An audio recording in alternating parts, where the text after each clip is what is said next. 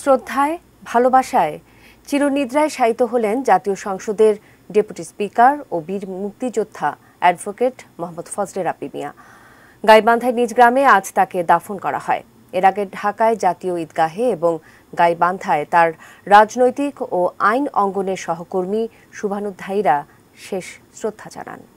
এবারে আমি সবিনয় আহ্বান জানাব বক্তব্য রাখার জন্য মাননীয় সংসদ নেতা ও মাননীয় প্রধানমন্ত্রী। এই ভরাট কণ্ঠ আর শোনা যাবে না। তিনি দেশে ফিরলেন কফিন বন্দী হয়ে।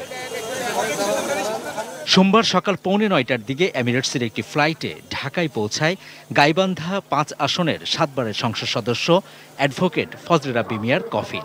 গত শুক্রবার যুক্তরাষ্ট্রের নিউ ইয়র্কের মাউন্ট সিনাই হাসপাতালে মারা যান ছিয়াত্তর বছর বয়সী এই রাজনীতিবিদ। ক্যান্সারের সঙ্গেই যুদ্ধ করছিলেন তিনি। বিমানবন্দর থেকে জাতীয় ঈদগাহ শেষ যাত্রা বীর মুক্তিযোদ্ধাকে রাষ্ট্রীয় সম্মান।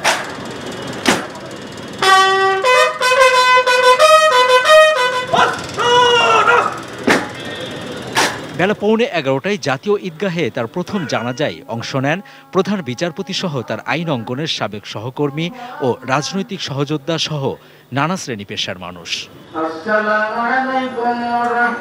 পরে রাষ্ট্রপতি মোহাম্মদ আব্দুল হামিদ ও প্রধানমন্ত্রী শেখ হাসিনার পক্ষে তার কফিনে পুষ্পস্তবক অর্পণ করা হয়। শ্রদ্ধা জানান স্পিকার, প্রধান বিচারপতি, অ্যাটর্নি জেনারেল সহ বিভিন্ন রাজনৈতিক ও সামাজিক সংগঠনের নেতৃবৃন্দ।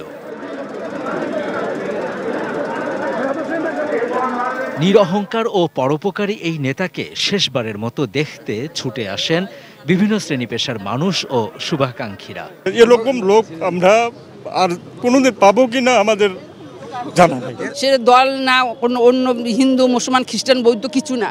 যার কাছে সে যে কোনো হেল্পের জন্য আসে সে সঙ্গে সঙ্গে তা করে দিত। সাগাটা ফুলছে এরকম মাপের নেতা হতে খুব কষ্টকর বা অনেক দুঃখজনক। আমরা কি হারাইছি?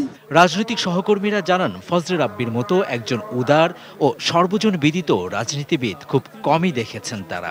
আমরা একটা উন্নত হৃদয়ের মানুষ একটা সাদা মনের মানুষকে হারালাম। ওনার আদর্শ অন্যরা অবলম্বন করে যদি জনপ্রতিনিধি হয় সেটা দেশের জন্য মঙ্গল হবে। অত্যন্ত বিনয়ী সদাদাপি নির্লোভ, নিরহংকার একজন ভালো মানুষ, একজন ভালো নেতা চলে গেল দুপুরে ফজলে রাব্বি মিয়ার মরদেহ হেলিকপ্টারে করে নেওয়া হয় তার গ্রামের বাড়ি গাইবান্ধার সাঘাটায়। সেখানে ভরতখালী উচ্চ বিদ্যালয় মাঠে শ্রদ্ধা জানান তার প্রিয় এলাকার মানুষ। এই মাঠেই দ্বিতীয় জানাজা শেষে তার মরদেহ নিয়ে যাওয়া হয় নিজ বাড়ি গটিয়া গ্রামে। বিকালে সেখানে আরেকটি জানাজা শেষে রাষ্ট্রীয় মর্যাদায় পারিবারিক কবরস্থানে সমাহিত হন দেশের এই কৃতি সন্তান। Javed Akhtar ATN news, Dhaka.